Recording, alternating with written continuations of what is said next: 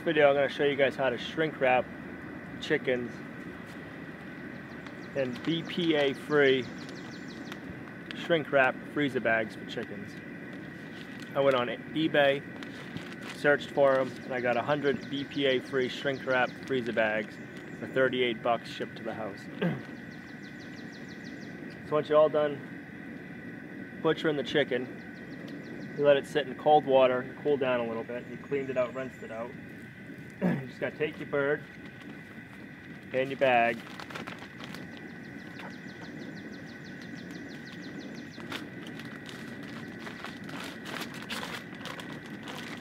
Go ahead and put them in. So once you got your three chickens in the bags,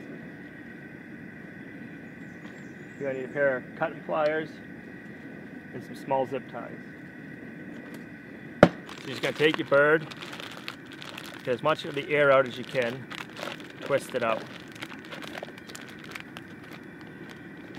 Take one of your zip ties,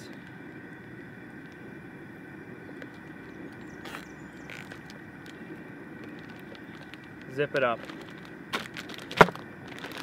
Go ahead, then you're gonna go ahead and you're gonna repeat it for all of your birds.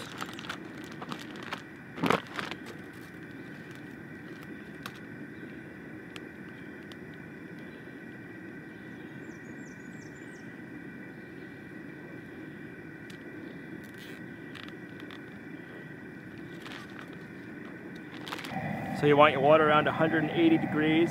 Make a small incision so the air can get out. Make sure you have plenty of room to hold on to the bag. It gets hot. Give it a dip.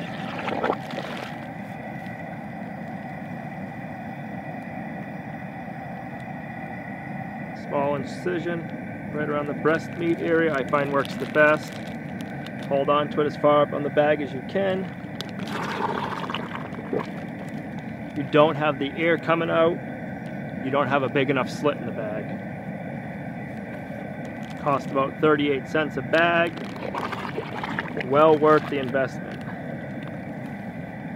We just heat dipped 14 birds in probably less than a minute and a half.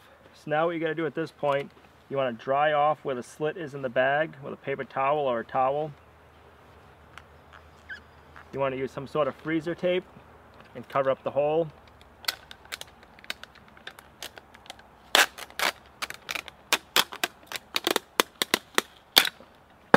If you have a label, you would just place your label over the slit.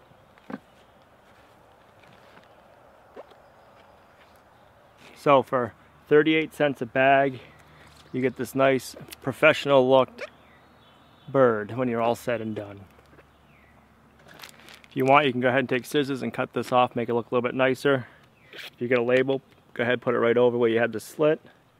Put these in the freezer now, and they should last at least a year, if not longer. Thanks guys for watching. If you liked the video, give it a thumbs up. If you have any questions or comments, any better ideas on how to do something, leave them in the comments below. Thanks for watching, and we'll see you back here next time at Lumnah Acres.